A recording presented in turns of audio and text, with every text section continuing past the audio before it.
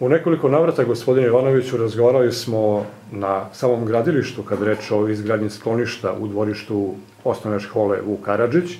Sada praktično radovi su završeni, još jedan posao je vaše preduzeće uspešno završilo. Pa evo prilike da se osvrnemo malo na sve poslove koji su tu bili i da kažemo šta je sve to do sada urađeno.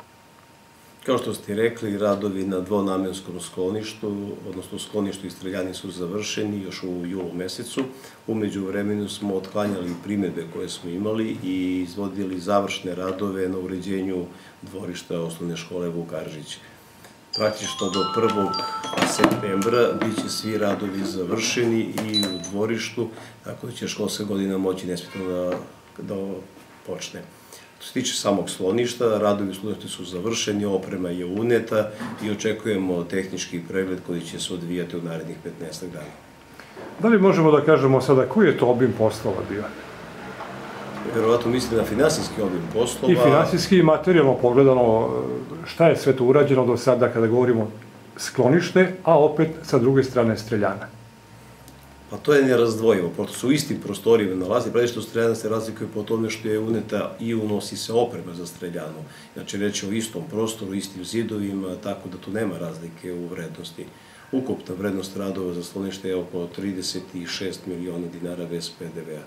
Investitor svih radova je javno predeće skloništa Srbije i zahvaljujući njihovi pomoći je Pirot dobio i sklonište za koje se nada nam neće trebati i verujem da nam neće trebati ali zato smo dobili streljanu koja je potrebna ljudima koji se bave streljaštvom.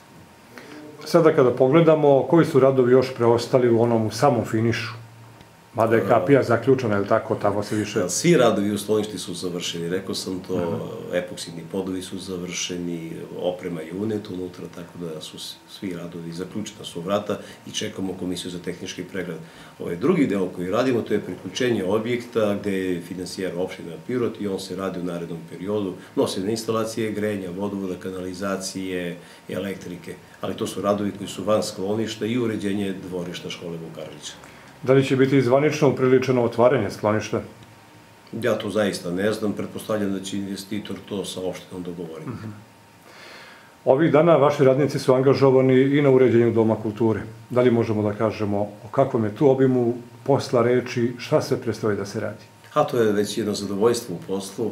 Vrši se adaptacija pozorišne sale za neke bioskopske sale, bit će kompletno renovirana sala, podovi se menjaju, stavljaju se novi tisoni, veoma kvalitetni, nezapaljivi, radi se nova sedišta, radi se prostori i prilaze invalide, Prosto, sala će promeniti svoj izgled i bit će, ja verujem, mnogo lepša. Menja se zavesa, deo podijuma i piroćanci će imati za par meseci, kada mi završimo te radovi, za toga su vodi, ja očekujem i 3D projekcije da će moći u ovom bioskopu da se radi za toga i mislim da to zaista jedan lep pomak za Pirot.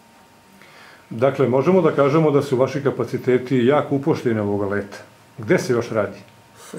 Naravno da su upošteni. U Pirotu ima puno posla i mi imamo puno posla. Drugo je pitanje da li ima para i da li je adekvatna nagrada za te radnike koji su vredno radili novim visokim temperaturama. Znate svi da je preko 30 stepeni. Svi hoće da uključe klima uređe i da rade u zatvorenim prostorima. Građevinski radnici rade na gradilištu i svakako da im je mnogo teže nego drugima.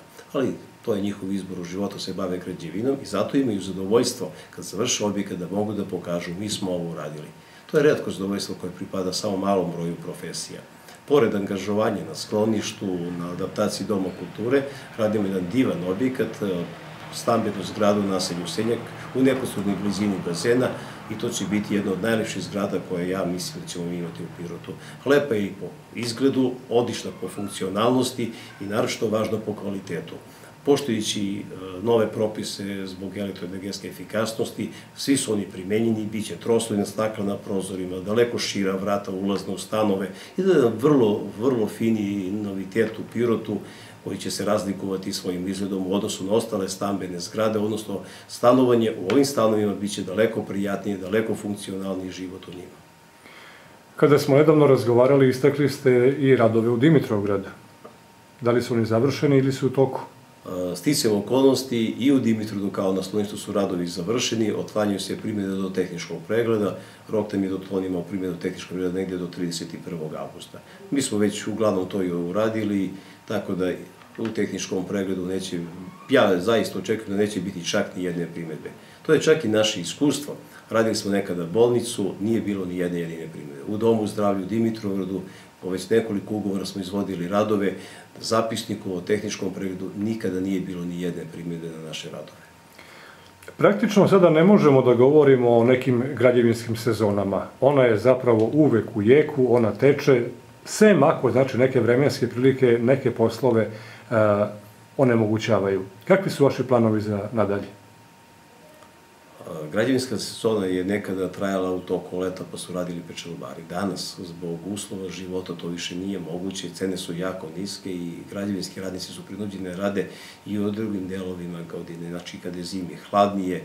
Trudimo se, nađemo završne radove u nekim zgradama, to nije uvek lako, pratio su te, radi onda u težim uslovima. Sećam se naših razgovora zimus, kada je bila temperatura ispod nule, radnici su bili prinuđeni da rade, prinuđeni ne zato što žele da se smrznu, i zbog toga što je to realnost danas u građevinarstvu, da se radi i leti, i u jesen, i u zimu, i u proleće. Naravno što je lepo u proleće kada sve buja, pa onda bujaju i građevinski radovi. Da li to znači da će biti posla za vaše radnike? U to sam siguran. Posla će sasvim sigurno biti, ne samo za naše radnike, za sve ljude koji žele da rade posla ima. Ja mislim da postoji jedan moralni presedan u ovoj zemlji kada ljudi ne žele da rade jer misle da su malo plaćeni za ono što su sedeli kod kuće ili dolazili na posao. Novac se dobije za ono što su radi, a ne za ono što se dolazilo na posao. Da li to znači da se građevinarstvo postepeno vraća, ako mogu tako da kažem, na one staze kada je nekada zaista bilo puno poslova? A to već ne mogu da kažem. Građevinarstvo se nikada, mislim, neće u ovoj zemlji vratiti na one staze koje je bilo pre 20-30 godina ugled koje građinarstvo ima u svetu je teško da se vrati. E, nekada smo imali škole koje su školovale kvalifikovane radnike, poslovođe, građevinske tehničare, inženjere, danas su ostali samo fakulteti, mi školujemo samo inženjeri, arhitekte koji treba da izvode radove. Nažalost, radnika u građevinarstvu više nema.